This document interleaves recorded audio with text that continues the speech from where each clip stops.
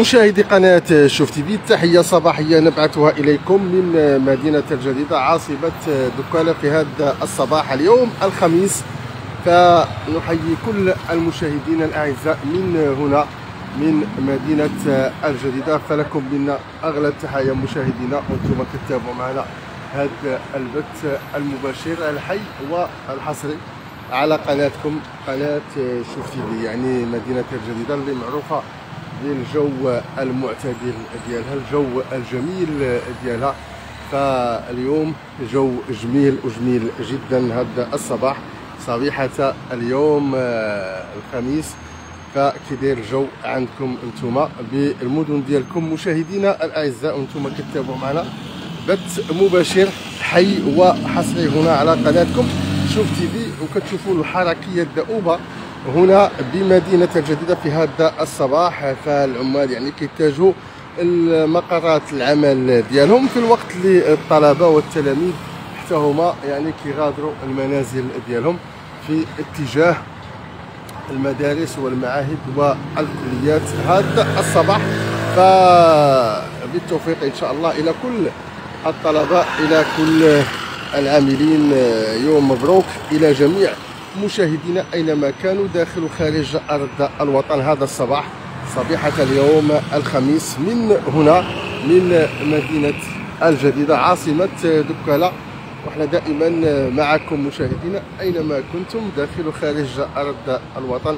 فتحية عاطره نبعثها إليكم جميعا من هنا من مدينة الجديدة. فلكم منا أغلى التحايا مشاهدينا وأنتم كتابعوا معنا هذا المباشر من مدينة الجديدة عاصمة بركاله وكما كنقولوا دائما فملي كنتكلموا على مدينة جديدة. مدينة جديدة هي مدينة آه، سياحية آه، بامتياز مدينة اللي آه، معروفة يعني بالسياحة بالمآثير التاريخية ديالها وأيضا بالفلاحة بالصيد البحري وأيضا بالصناعة بحكم أنها تتوفر على كبريات كبريات الوحدات الصناعية هنا بمدينة الجديده وبالضبط بالجرف الأصفر وأيضا بالحي الصناعي بمدينة الجديدة. فكما كتشوفوا هذه هي الأجواء هذا الصباح. اللي كنقلوها لكم من هنا من عاصمة دكاله من مدينة الجديدة ومن آه واحد من أهم شوارع هذه المدينة.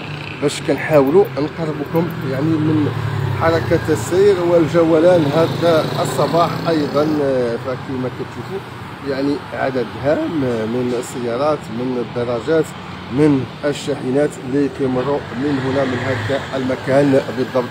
فإحنا دائما نحيي كل من كيتابع معنا هذا البث المباشر الحي والحصري على قناتكم قناة شوف تي في.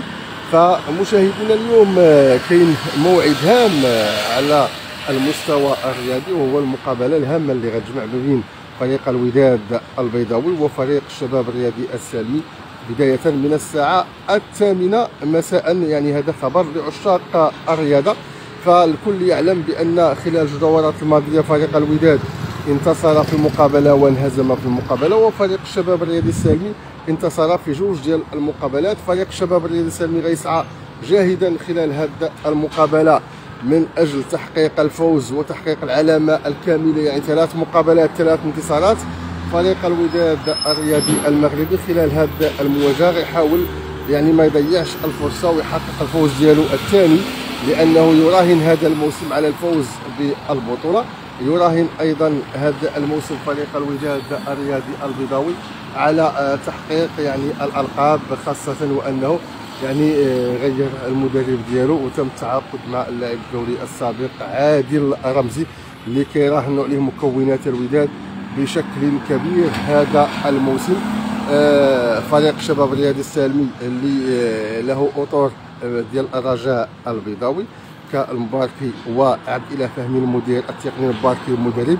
وبالتالي يعني دير بي غيكون بيضاوي ما بين المؤثرين وما بين اللاعبين الدوليين سابقين رمزي لاعب دولي ديال الوداد المدرب وأيضا مباركي وفهمي لاعبين دوليين سابقين. وبالتالي هذه المقابلة لن تخلو من أهمية مقابلة غتكون صعبة وصعبة جدا بالنسبة للطرفين. مقابلة غادرة أيضا بمدينة المحمدية بحكم الإصلاحات اللي كتجرى بالمركب الرياضي محمد الخامس وهذا الملعب فهو غريبش على فريق آه، الشباب الرياضي السالمي اللي كيستقبل فيه منذ الموسم الماضي. بالنسبة لفريق الوداد كيستقبل فيه هذا الموسم.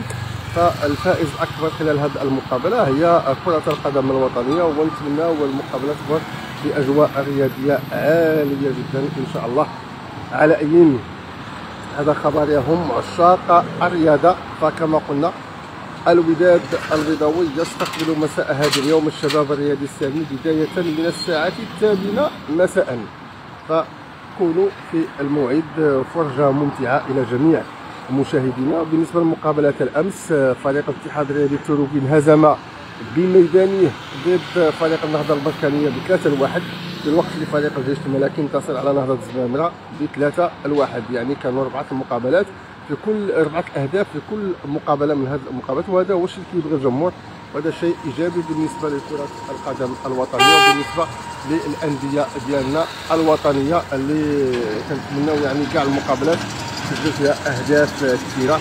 كيف سجلت في هذه المقابلات جوج دراو يوم أمس؟ فجوج المقابلات ثمانية ديال الأهداف. نحييكم مشاهدينا مرة أخرى من مدينة الجديدة ونقرأكم السلام من عاصمة دكالة ولكم منا أغلى التحايا دمتم في رعاية الله. نلتقي بكم في مباشر آخر. إلى اللقاء مشاهدينا مشاهدي قناة. شوف تي في قناة شاب.